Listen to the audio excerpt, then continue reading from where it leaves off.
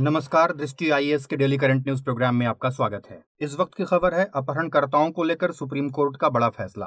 अपहरण से जुड़े आईपीसी कानून पर सुप्रीम कोर्ट ने फैसला सुनाया है। अदालत ने फैसले में कहा है कि अगर किडनैप किए गए व्यक्ति को अपहरणकर्ता किसी तरह का नुकसान नहीं पहुंचाता है, या उसे किसी तरह से मारने की धमकी नहीं देता है, और व्यक्ति के साथ अच्छा बर्ताव करता है तो किडनैपर को आईपीसी की धारा तीन ए के तहत आजीवन कारावास की सजा नहीं दी जा सकती है। कोर्ट ने यह फैसला तेलंगाना हाई कोर्ट के फैसले के खिलाफ दायर एक याचिका के जवाब में सुनाया है। कोर्ट ने कहा है कि इस धारा के तहत किसी आरोपित को दोषी मानने के लिए तीन बातों का होना ज़रूरी है। पहला, किसी व्यक्ति का अपहरण करना या कब्जे में रखना।